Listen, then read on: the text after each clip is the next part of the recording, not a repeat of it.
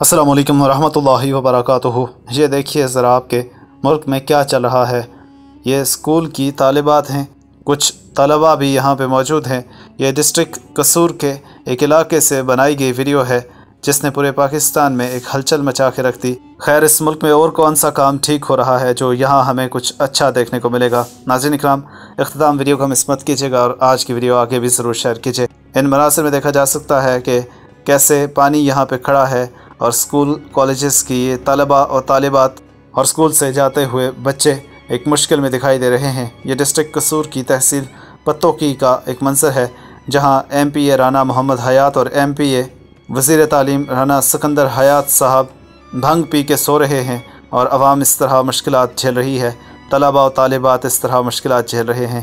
کس قدر افسوسناک ہے یہ اسی قوم کی بچیاں ہیں، یہ اسی قوم کے بچے ہیں جو بڑی مشکلات جھیل رہے ہیں، بڑی تکلیف میں ہیں، بڑی پریشانی میں یہ وقت گزارتے ہیں۔ ایسے جگہوں سے گزر کے آتے، پھر بھی تعلیم کو اس لیے نہیں چھوڑ رہے کہ ہم نے انسان بننا ہے۔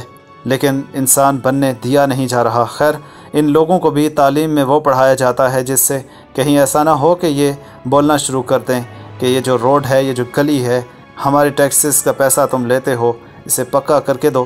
انہیں ایسا سمجھایا نہیں جاتا، ایسا انہیں بتایا نہیں جاتا، ٹیچرز کی طرف سے بھی بتایا نہیں جاتا کہ باہر نکلو کہ یہ جو پانی کھڑا ہے، کیوں کھڑا ہے؟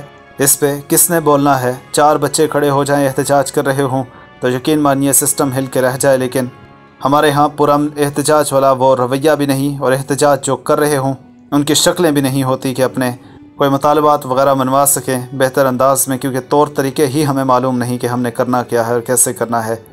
ہو سکے تو آج کی ویڈیو شیئر کیجیے، اپنی آرا بھی دے سکتے ہیں تو ضرور دیجیے گا۔ یہ افسوسناک ہے اور پروٹیسٹ کے طور پہ آج کی ویڈیو ضرور شیئر کیجیے گا۔ Subscribe, press the bell icon, select the notifications اور